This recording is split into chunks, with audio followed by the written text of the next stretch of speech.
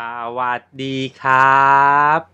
กลับมากันอีกแล้วนะครับ วันนี้แบกเป้เซอร์เซอจะมารีวิว อุปกรณ์ศิลปะที่ซื้อจากไต้หวันนะครับ ก็เราก็จะมีนี่ ก็จะมีอ่าสมุดไม่ใช่เด็กกระดาษวาดสีน้ำโอเค แล้วก็อันนี้ก็อันนี้รู้สึกอันนี้สำหรับสีน้ำมันเนาะเออเอ็นะเดี๋ยวดูก่อนอันนี้ก็เป็นตัวหมุนไอตัวที่แบบเขาเลยก จะเรียกว่าอะไรผมจำชื่อไม่ได้เอาเอาเป็นว่าตัวที่เราทำให้เรา saver อะเออตัวทำให้เราประหยัดคือสามารถหมุนเหมือนตัวบีบหลอดยาสีฟันอะเอออันนี้ก็เป็นตัวบีบหลอดสีแต่อันนี้ก็คงใช้กับพวกสีขวดใหญ่เนาะสีหลอดใหญ่ พวกสีน้ำมัน สีอะคริลิกอะไรเงี้ย สีน้ำก็ถ้ามีหลอดใหญ่ก็คงบิดบิดบิดหมุนมันได้เนาะแล้วก็ต่อไปเราจะรีวิวนี้ด้วยนี่ เรามีสามยี่ห้อเลย ก็ซื้อมาสามยี่ห้อเลย ก็จะมาเทส ก็จะเป็นในนี่เป็น water brush ก็คือเป็นภูกัน เป็นภูกันที่มีใส่น้ำเขาเรียกแทงอะ เออ เป็นภูกันแทงอะ เออ เป็นภูกันแทงเดี๋ยวเรามารีวิวอันแรกก่อนดีกว่า เรามาเริ่มรีวิวที่ตัวไหน เอาตัวนี้แล้วกัน ตัวนี้ ตัวนี้ เดี๋ยวเรามาแกะตัวนี้กัน มารีวิวตัวนี้กันนะครับ อันนี้ก็จะเป็นนี่ ก็ นี่นะครับก็จะเป็นนี่ปึ๊บเดี๋ยวผมเพิ่มไฟอีกหนึ่งดวงก่อนนะครับพอดีไฟมืดไปหน่อยเดี๋ยวเปิดปึ๊บโอเค น่าจะไฟสว่างขึ้นมาแล้ว อืม น่าจะได้เนาะโอเค เรามีไฟเพิ่มอีกหนึ่งดวงแล้ว ก็ตัวนี้นะครับ ก็จะเป็นนี่เห็นชัดแล้วเนาะก็เป็นอ่านว่าอะไรเนี่ย ไม M I R O หรือว่า M I R O ไม่รู้ว่าอ่านไม่ออกไมโครเหรอไมโลไมโลอาร์ตเหรอ เออ แต่เหมือนเป็นตัว R O เลยพอเป็นตัวเขียนนี้เราไม่รู้ภาษาอังกฤษตัวเขียนเนี่ย มันเป็นตัว R หรือเป็นตัวตัว C เอ้ยตัว R เนาะหรือว่าไม้อาร์ตมั้งอ่านว่าไม้อาร์ตหรือเปล่า โอเค ไม่เป็นไรข้ามไป Paint Saver Key เนาะโอเค ก็สำหรับ นี่ ใช้สำหรับเป็นตัวประหยัดสี อืม เดี๋ยวเรามาแกะดูจริง ๆ ต้องแกะไหมเนี่ย อันนี้หกสิบดอลลาร์ไต้หวันนะครับ ก็ดูภาพลักษณ์แล้วเราไม่มีตัวเทสเราเราไม่แกะแล้วกันเนาะเดี๋ยวมันกระจายหาย โอเค เพราะผมก็ไม่ได้มีสีหลอดใหญ่เพราะผมก็มีแต่สีน้ำหลอดกระจิ๋วเดียวเนี่ย ใช้ยังไม่หมดสักทีเลยเนี่ยเออเพราะมันก็เนาะเราใช้ทีละนิดใช้อย่างประหยัด อืม โอเค โอเคนี่เนาะอันนี้ก็หกสิบตกอันละเท่าไหร่เนี่ยมีห้าอันเนาะโอเคนี่ประมาณนี้นะครับ ต่อไปอันต่อไปเราจะมารีวิวตัวนี้นี่ ก็กระดาษ เอ๊ะ Fabriano อันนี้ไม่แน่ใจว่าเคยรีวิวหรือเปล่านะ แต่อันนี้เห็นไปเห็นซื้อมาเพิ่มทริปที่แล้วก็ซื้อกระดาษทริปนี้ก็ซื้อมาเพิ่มก็เดี๋ยวมารีวิว ก็อันนี้ราคานะครับ นี้ก็ถ้าเพื่อนๆอยากรู้ว่าซื้อที่ไหนนะ art supply shop ที่ไหนนะ ก็นู่นเลยนี่เข้าไปนี้เว็บเว็บไซต์แบกเป้เซอร์เซอร์นะครับ พิมพ์คำว่า backpack เซอร์เซอร์ s i r s i r com แล้วก็ search คำว่า art supply shop ในเว็บไซต์ผมก็จะมีอ่ามีคลิปวิดีโอมีหน้าแผนที่ที่ผมเคยรีวิวไว้แล้วว่าร้าน art supply shop 3 ร้านที่ผมชอบไปซื้อประจำทุกทริปอะไรเงี้ยก็จะมีในนั้น เพื่อนสะดวกร้านไหนก็แวะไปร้านนั้น อันนี้เราก็ทริปที่ผ่านมาเราซื้อตัวนี้นี่ก็จะเป็นนี่ watercolor อืม Fabeno เนาะโอเค นั่นเดี๋ยวเราแกะเลยพลาสติกมาสะท้อนแสง เดี๋ยวขอแกะก่อนนะครับ อืม แกะพลาสติกก่อนอัน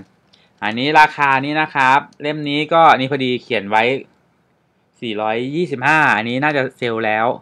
425 เนาะว่าตอนเราเขียนเอง เราก็เอาติดเราไม่รู้ไงเราเราอยาก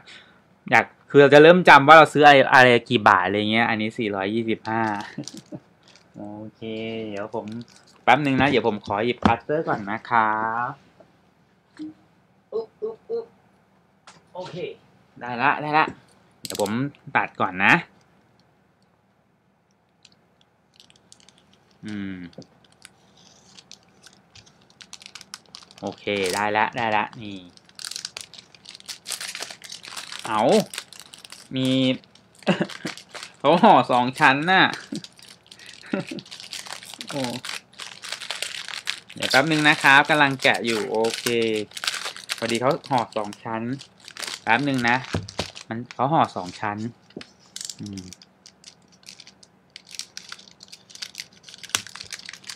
อืม อ่า ชั้นแรก ทำไมต้องห่อสองชั้นด้วยอะ อ๋อ กันเปื้อนเหรอ อีกชั้นหนึ่งอย่ามาดูนี่มาดูฉลาก ก็ยังไม่เห็นชัดเจนเนาะแต่มีฉลากติดอีกทีหนึ่งก็เป็นฟาเบโนเนาะแล้วก็ภาษาจีน ใน Artistico Traditional White โอเค ก็อันนี้ฟาเบโนของอิตาลี อิตาลีนะครับ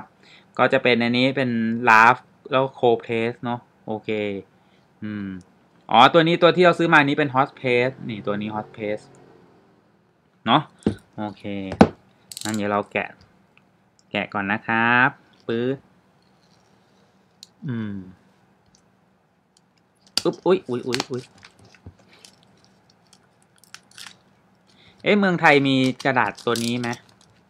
ไม่แน่ใจนะครับ โอเค แกะแล้วแกะแล้ว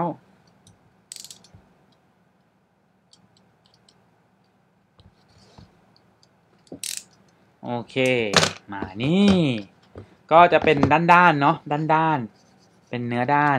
อันนี้เนื้อโอ้นี่กระดาษเนาะเอ๊รู้สึกอะอ๋อโอ้รุ่นอะรุ่นรุ่นนี้เป็นในนี่ ขอบกาว ขอบกาว อันนี้เป็นขอบกาวโอ้ยไม่ไม่นึกว่าจะมีแบบมียี่ห้อเดียว เออ ยี่ห้อนี้ก็มีขอบกาวเหมือนกันเนาะเพิ่งสังสังเกตโอ้อันนี้ก็คือใช้เสร็จแล้วเราก็ ใช้เสร็จแล้วคงใช้แบบเอากรีดออกไปเนาะกรีดทีละอันเนาะเนี่ยโอเคนี่ไงนี่เป็นช่องที่หน้าไม่มีนี่นี่นี่นะครับนี่ เห็นปะโอ้นี่เป็นขอบกาวเลยยังไม่อยากแกะเดี๋ยวเราไว้วาดก่อนแล้วค่อยมามาแกะแล้วกันเนาะขอบกาวเพราะกระดาษจริงๆก็อยาก test บนนี้เหมือนกันเนาะเออเดี๋ยวลอง test กระดาษบนนี้เลยแล้วกัน โอเคเดี๋ยวเราตัวนี้ไว้ไว้ test แล้วกันเนาะว่าจะใช้ตัวนี้ test อืม โอเคนะครับ อืม ก็ต่อไปเดี๋ยวจะมารีวิวนี้ นี่ ก็เดี๋ยวจะมารีวิวนี่ พู่กันแท็งก์เนาะเออไม่รู้เขาเรียกว่าพู่กันแท็งก์หรือเปล่าก็อันนี้คือ water brush อืมภาษาอังกฤษเขาเรียกเขียนว่า water brush เออพู่กันแท็งก์ก็ใส่น้ำก็ผมจะมีสามยี่ห้อที่ซื้อมาเลย ก็เป็นโนโมนาอันนี้ Pentel แล้วก็ Simbalion Simbalion นี้น่าจะเป็นอ่าของประเทศไต้หวันเลยนะ made in ไต้หวันเลยSimbalion ก็ผมก็มีสีของ Simbalion แล้วคราวแล้วเราก็รีวิวสีของ Simbalion เหมือนกัน โอเค อันนี้ Pentel Pentel ก็ made in Japan นะ Pentel อ๋ออันนี้วิส Vistage เออไม่รู้ออกเสียงถูกเปล่า Vistage อันนี้โมนาโมนานี่ของประเทศอะไรเนี่ยไม่เคยเห็น โมนาสี่เจ็ดหนึ่งหรอ อืมสี่เจ็ดหนึ่งก็ว่าผลิตในไต้หวันเหรอ อันนี้ราคาเจ็ดสิบห้าเนาะอ๋ออ๋อ ราคาเต็มเจ็ดสิบห้า อันนี้ราคาเต็มเจ็ดสิบห้าเดี๋ยวให้เพื่อนดูชัดๆดีกว่า นี่ โม โมนา โมนาเนาะ อ่านว่าโมนาเนาะ โมนา ก็อันนี้ไซส์ S อืม ไซส์ S เราซื้ออันนี้เราซื้อที่ร้านอะไรนะผมจำไม่ได้ร้านขายส่งเขามีขายเหมือนกันเนาะเขามีเครื่องเขียนด้วยอะตรงตรงกองกวนอะผมก็จำชื่อภาษาจีนไม่ได้อีกละเออมันมีร้านขายส่งเขามีผู้กันอุปกรณ์เครื่องเขียนผมก็เลยซื้อที่ร้านนี้มา อันนี้รถร้านนี้เขาขายส่งเนี้ยขายปีกในราคาส่งเออ ก็คือขายลดราคาแหละเออโฮเซลอะโฮเซลนี้เขาเรียกว่าขายปีกหรือไอ้ขายส่งหรือเปล่าไม่รู้อะแต่เออ อันนี้ก็สี่เจ็ดหนึ่งเนาะอืม ก็ผมไม่รู้ว่าของประเทศอะไรนะ เพิ่งเคยเห็น ก็เลยลองซื้อมาดู ต่อไปอันนี้ก็เป็น Pentel อืม Pentel นะ Pentel ด้านหลังก็จะเป็นภาษาญี่ปุ่นเนาะ Pentel นี้ก็ made in Japan ชัดเจน อืม ตัวนี้ made in Japan ต่อไปนี้ซิมบ้าไลออน นี่ซิมบ้าไลออนครับซิมบ้าไลออน ก็จะเป็น water tank เหมือนกัน อันนี้แปดสิบดอลลาร์ไต้หวัน ราคาเต็มเท่าไหร่เอ่ย มีเขียนไหมมไม่มีเขียนราคาเต็มในนี้เนาะ โอเคไม่เป็นไร ผมพยายามมองนะไม่เห็นราคาเต็มเนาะ ปกติจะมีมีกรอบสี่คือผมจะพยายามสังเกตกรอบสี่เหลี่ยม อืมไม่เป็นไรไม่เป็นไร แต่ราคานี้น่าจะลดแล้วแหละป้ายเหลือง โอเค แต่อันนี้ราคานี้ไม่ได้จดไว้ขอโทษด้วยนะครับ เออบางทีเพราะไม่ได้ซื้อพร้อมกันไงอันนี้น่าซื้อร้านเดียวกันสองอันนี้แต่นี้น่าซื้อร้านอื่น เลยเอามาให้มันเข้าเซตในการจัดรีวิวเนาะโอเคนั้นเดี๋ยวเรามาแกะห่อเลยเอาไหนก่อนเอาไหนก่อนเอาไหนก่อนเอาโมนาก่อนแล้วก็เรียงตามลำดับไหลเลยแล้วกันเนาะโอเค เดี๋ยวมาแกะดู จริงๆก็ไม่ค่อยได้ใช้ผู้กันแท้งหรอกเนาะอืม ตัวนี้โอเคนี่จะเป็นสี ก็จะมีเขียนเลยเนาะมีมีพิมพ์บอกในนี้นี่ อืม เดี๋ยวเอาไฟมาใกล้ๆก่อนเนาะโอเค ผมเอาไฟมาใกล้ๆจะได้เห็นชัดๆนี่เนาะอืม ก็ ชัดไม่เอ่ยโอเค นี่มันสะท้อนแสงหน่อยอ๋อปรับกลับด้านนี่ก็โมนาปุ๊บนี่ บีบเนาะพุชพุชโอเค เดี๋ยวจะไปลองใส่น้ำดู แกะอย่างนี้ อ๋อ หมุนปะอ๋อ นี่ ขนแบบนี้เนาะ เป็นขน อืมนุษยังแข็งอยู่อะ น่าจะเขาอาจจะทาแป้งมาหรือเปล่า อืม อันนี้เป็นอย่างนี้ อันนี้แทงโอเค เดี๋ยวจะลองไปใส่น้ำดูเนาะ อันนี้เดี๋ยวผมลองไปใส่น้ำ เดี๋ยวแกะดูทีละอันแล้วกัน ต่อไปยี่ห้อ Pentel Pentel นะครับ อืม นี้เป็นเทลก็มาแกะลองกันเลยอ๋อติดติดสกอตเทปตรงนี้ฉีกได้ปะอืม ต้องขาดแล้วแหละ โอเค ไม่เป็นไร อืม Pentel นี่มาแล้ว Pentel สีฟ้า โอเค นี่นะครับ Pentel ก็ อ๋อ อันนี้ อันเมื่อกี้ อ๋อ อันนี้หัวกลม หัวกลม จับดูดิ โอเค เนาะ หัวกลม อ๋อ อันนี้แบบ แล้วนี้ก็เป็น นี่ ประมาณนี้เนาะ เดี๋ยวจะไปลองใส่น้ำดูเนาะ อืม แล้วเดี๋ยวมาลองเทสกัน ต่อไป อันนี้ก็จะเป็นนี่ซิมบ้าเลออน โอเค ซิมบ้าเลออน อันนี้จะเป็นสีขาว แกะตรงไหนเอ่ยอ๋อแกะด้านหัว แกะด้านหัวนี้นะครับปึ๊บเดี๋ยวก่อนเทไม่ได้ แกะด้านหัวมัน โอเคมาแล้วมาแล้วมาแล้วโอเครู้สึกตัวนี้จะด้ามยาวสุดเลยเนาะสูงกว่าเขาเลยอะ อืมโอเคโอ้ยแต่ตัวนี้มีตรงนี้ด้วยอะ เอ้ยชอบอะ เฮ้ยมันมีตรงนี้อะ มันมีแบบ มันเหมือนเป็นเป็นร่องร่องจับอะเห็นปะเออโฟกัสชัดแล้วนี่ไงซิมบ้าไลออนมีร่องจับด้วย นี่เหมือนใส่น้ำได้เยอะเลยอะเออเดี๋ยวปิดก่อนปุ๊บแล้วบีบยังไงอ๋อบีบตรงนี้โอ้แต่บีบตรงนี้ก็อ๋อเราก็คงเวลาระบายสีเราจับตรงนี้เนาะเราค่อยบีบน้ำตรงนี้ มาดูตรงนี้ดิเฮ้ยเอ้าทำไมแท้งนี้ไม่เหมือนชาวบ้านเขาว่าโอ้แปลกเนาะอืมวิธีใส่น้ำนี่มีสอง ส่ตรงนี้อะเออเออเอออันนี้แปลกไม่เหมือนชาวบ้านเขานั้นเดี๋ยวผมเดี๋ยวผมขออนุญาตไปใส่น้ำก่อนนะครับ เดี๋ยวมานะครับ เดี๋ยวผมไปใส่น้ำก่อนนะครับผม เดี๋ยวผมเอาสามนี้ไปใส่น้ำก่อนนะครับ เดี๋ยวเอาไฟไว้ตรงนี้ก่อน โอเค เดี๋ยวมานะครับ เดี๋ยวขอเติมน้ำก่อนนะ เอาเติมน้ำมาไหนก่อนดี ก็เติมยี่ห้อ อันไหนดีอะ เออ อันนี้มาอันหนึ่งก่อน โอเค เดี๋ยวเติมน้ำก่อนแป๊บหนึ่งแป๊บหนึ่งนะครับ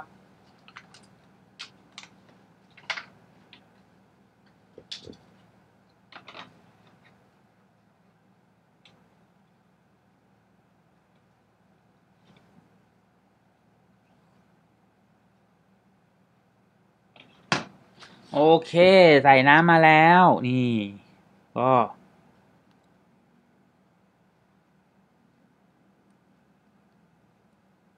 อ่าอันที่สองเดี๋ยวไปใส่น้ำก่อนนะครับ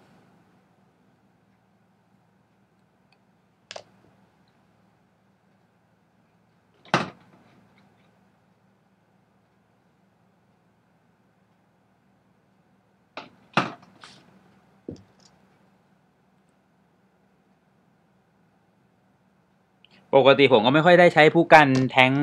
แบบนี้นะ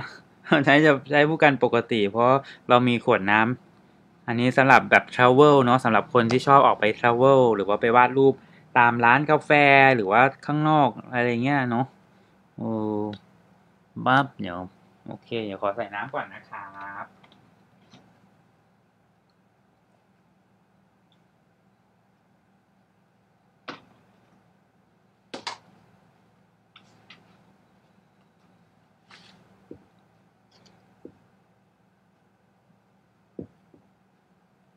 โอเค เดี๋ยวจะมาลองวาดรูปกัน โอเค โอเค นั้นเดี๋ยวเรามาระบายตัวไหนกันดี เราก็จะใช้กระดาษนี่แหละ อืม กระดาษที่เพิ่งซื้อมาวันนี้ไม่ไม่ซื้อวันนี้ เราที่เราซื้อมาจากไต้หวันจะมาทดสอบวันนี้เลย โอเค นะ เดี๋ยวมาทดสอบกระดาษกันนะครับ ก่อนอื่นเดี๋ยวเอาสีทดสอบเอาสีไหนๆก็ เอาสีอะไรสีชมพูเลยแล้วกันใส่หยิบมาแล้วเนี่ยก็ใช้โฮบายเนี่ยแหละเนาะอืม อันนี้ก็ซื้อที่ไต้หวันเหมือนกันนะครับโอเค แกะก่อนนะอุ้ยบีบไม่ได้ใช้นานแล้วนนี้เดี๋ยวบีบก่อนนะครับ อืมโอ้ยออกมาเยอะเลยเปลืองโอเค นั้นเดี๋ยวเราจะเทสยังไงดีอะ อืม เอาเทสตัวสีฟ้านี้อะไร เอาเราเอาที่ตัวที่เรียงตามลำดับไหลแล้วกันเนาะ ต่อมาที่โม โมอะไรเนี่ยจำชื่อยากจริง ๆ เลย โมนาโอเคโมนาเดี๋ยวเอาที่ยี่ห้อโมนาก่อนนะครับ โมนาเดี๋ยวลองดู เดี๋ยวขอกระดาษก่อน เดี๋ยวใช้กระดาษทิชชู่เลย อืม ปกติจะใช้ใช้อะไรนะ ใช้ผ้า ผ้าขนหนูแล้วปัญหาพักหลังผมรู้สึกว่าใช้ผ้าขนหนูแล้วแบบหัวผู้กันมันแบบมัน เวลาใช้ผู้กันแล้วรู้สึกหัวผู้กันมันแบบพังเร็วไงไม่รู้ผมก็เลยมาเปลี่ยนมาใช้ทิชชู่เหมือนเดิมแต่มันก็เปลืองอะทิชชู่ก็พยายามใช้แบบ เออโอเคแต่จริงๆเราก็ เดี๋ยวลองบีบน้ำดูเนาะรุ่นนี้นี่เดี๋ยวลองบีบน้ำก่อนอ๋อมันดึงได้เลยไม่ใช่หมุนโอเค เดี๋ยวลองดูว่าน้ำออกยังไงนั่นบีบมาแล้วมาแล้ว แล้วบีบลงบนนี้ดีกว่า จะเห็นไหมเอ่ย นี่เนาะ โอเค อ่า น้ำออกมาตรงนี้แล้วเห็นปะโอเคมาแล้ว อืม ก็ ประมาณนี้เนาะ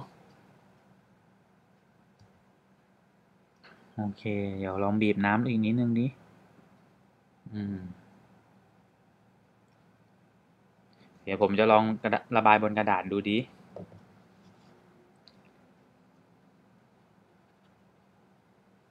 อืม เราจะบีบน้ำตอนระบายได้ปล่าไม่ได้เนาะ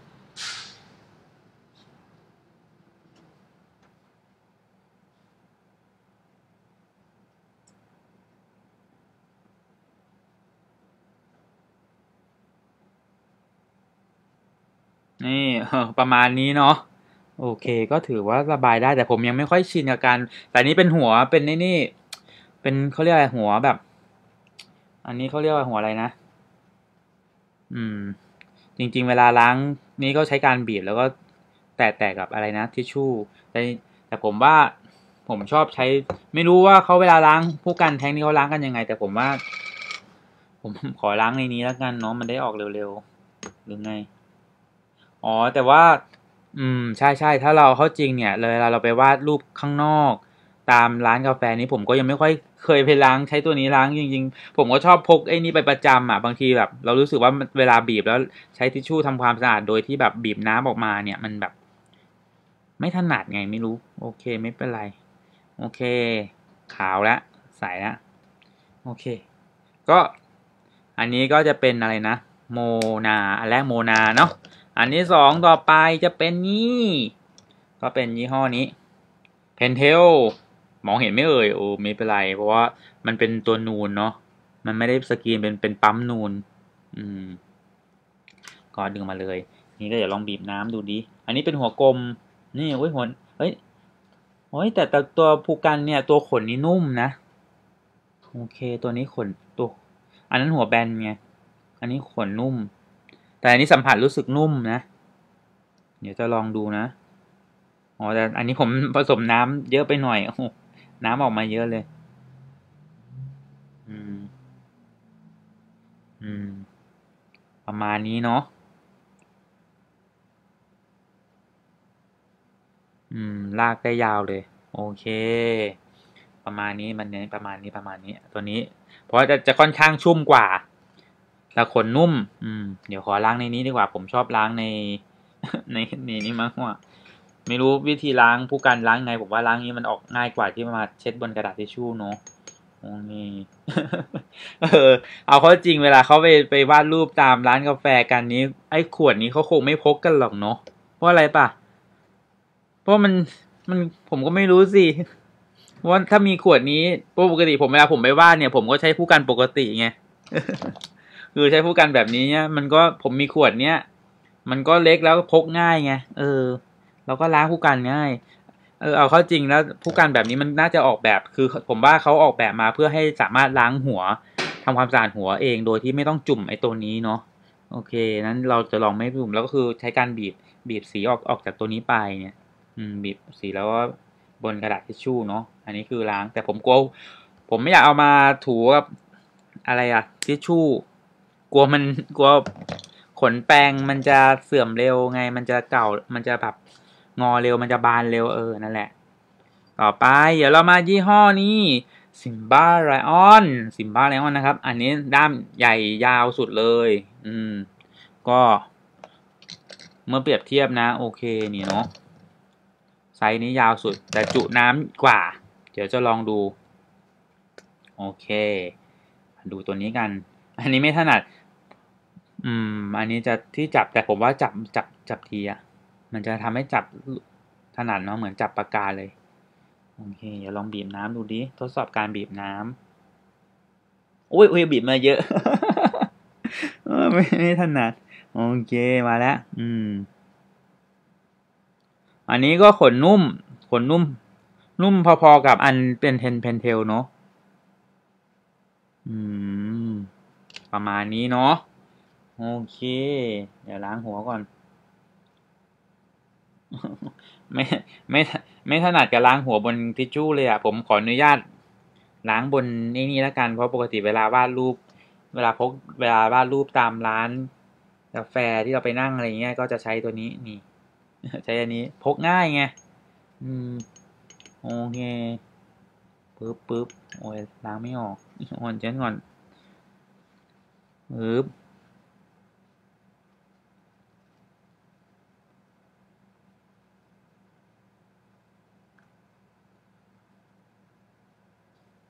โอเคล้างแล้วล้างแล้วเรียบร้อย ก็เดี๋ยวมาดูนี่ ดูภาพที่เราวาด นี่นะครับประมาณนี้นะครับ นี่ ก็แล้วแต่เพื่อนๆเนาะต้องทดลองใช้เองอะ่ะ เออ ว่าทุกคนชอบยี่ห้อไหน อันไหนเขียนดี ก็อันนี้ก็เป็นภาพอันแรกก็จะใช้จากอะไรอะ่ะ โมนาเออโมนาอันนี้เพนเทลพอดีนี้ ยาวหน่อยเพราะผมจิ้มสีมาเยอะปุ๊บ อันนี้จิ้มแป๊บเดียว โอเค เดี๋ยวก็ว่าจะลองอีกอันหนึ่งแก้ตัวแทนอันนี้แล้วกัน เดี๋ยวผมขอแก้ตัวแทนนั้นอันสุดท้ายก่อน อันสุดท้ายสีมันจางไปหน่อยแป๊บหนึ่งนะเดี๋ยวผมขอแจ้แก้ตัวอันสุดท้ายดู นี่จุ่มสีเยอะเลย โอ้ยมาเยอะเลยโอ้ยตายเยอะเยอะเยอะก็ลากไปได้ไกลเหมือนกันนะเนี่ย อืม ก็ เอาเข้าจริงนะ ผมว่า ความถนัดของแต่ละคน อืม แล้วแต่ความถนัดของแต่ละคน ต้องลองทดลองมาซื้อใช้เอง อืม โดยส่วนตัวแล้วผมชอบอันไหน ผมว่าอันยังอธิบายไม่ได้ก็ อืม มันเป็นฟิลลิ่งที่แปลกมันไม่เหมือนกับการใช้ภูกันปกติไงเออ ผมชอบภูกันปกติมากกว่า มันไม่ถนัดอะ แบบไม่รู้ว่าเราต้องบีบน้ำตอนวาดหรือเปล่าอะไรเงี้ยแล้วนี่แบบปาดปาดสีเงี้ยเออ เนี่ย แล้วว่าลากไปเนี่ยผมชอบภูกันปกติมากกว่า อืมโอ้งี้อะทีนี้เส้นเล็กหน่อยนะโอเค ประมาณนี้นะครับ นี่ผู้การปกตินะครับนั้นเนี่ยเราก็หวังว่าคงจะมีสาระนะครับ วันนี้ก็เป็นการทดสอบโดยที่แบบผมก็ไม่ใช่มืออาชีพในการทดสอบ ผู้กันเนาะเพราะว่านี่เป็นครั้ง จะเรียกว่าเป็นครั้งแรกมันก็ไม่เชิงเพียงแต่ว่า ปกติไม่ค่อยใช้ผู้กันแทงอะ่ะ เออ จะซื้อมาใช้เคยมีอันนึงแล้วแบบคือตอนวาดสีน้ำฝึกใหม่ๆเนี่ยก็เคยมีสุดท้ายก็ไม่ถนัดใช้แค่ครั้งเดียวแล้วก็เก็บไว้ในกล่องเหมือนเดิม แต่พอดีไปไต้หวันรอบเนี้ยก็เลยอยากจะลองทดลองดูแค่นั้นแหละ อืม อยากจะทดลองดูว่า เออ ซื้อมาสามยี่ห้อแล้วราคามันก็ไม่ได้สูงมาก มันไม่เหมือนปากกาไอ้ไม่เหมือนผู้กันปกติที่มันผู้กันผู้กันแบบเนี้ยมันจะค่อนข้างราคาสูงไงถ้าเราจะต้องการเกรดขนดีหน่อยอะไรเงี้ยเออขนที่มันดีหน่อย ขนธรรมชาติหรือขนสังเคราะห์อะไรเงี้ยก็แล้วแต่มีให้เลือกเนาะอันนี้มันแบบ อันนี้มันเหมาะกับการที่เราเราทราเวลเนาะสำหรับไปวาดรูปทราเวลหรือว่าไปไปนั่งวาดในร้านกาแฟหรือว่าร้านวาดแบบตามอะไรอะ ธรรมชาติทะเลอะไรเงี้ยเนาะอันนี้ก็เป็นช้อยทางเลือก ซึ่งผมก็ช้อยทางเลือกผมก็นี่ ผมมีตัวนี้ผมพอใจละขวดเดียว มีตัวเนี้ยแหละมีขวดเนี้ยที่ซื้อจากไต้หวันเนี่ยแล้วก็ผู้กันอีกด้ามสองด้ามวาดได้แล้วโอเค วันนี้ก็คงประมาณนี้นะครับ เดี๋ยวพบกันใหม่นะครับ สัปดาห์หน้าเดี๋ยวเรามารีวิวอะไรก็เดี๋ยวลองดูอีกทีนึงนะครับ บ๊ายบาย